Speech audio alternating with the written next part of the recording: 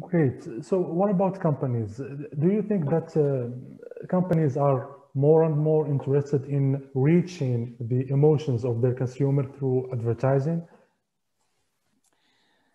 Um, Do you think I, I, it is important for them? Yeah, I think they are.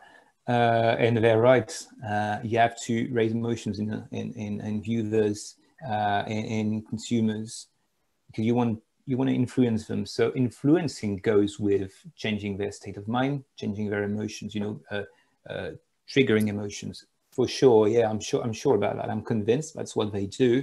But unfortunately, they don't do it well.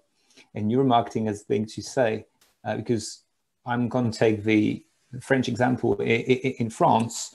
So for, for marketers and advertisers, triggering emotions is about being creative and trying to shock people. Okay, so if you want to affect people negatively or positively, you're going to try to shock them, make them make them laugh or make them cry, basically.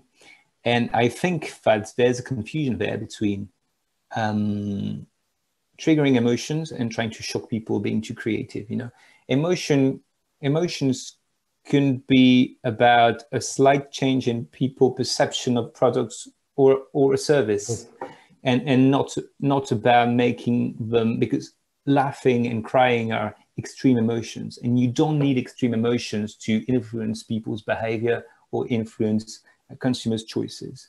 Um, so yes emotions are needed. I think that marketing agencies and advertising agencies are working they're playing a lot on emotions but not properly. Not um. properly. They could do it far better by using scientific evidence about how to influence how to influence people. Yeah.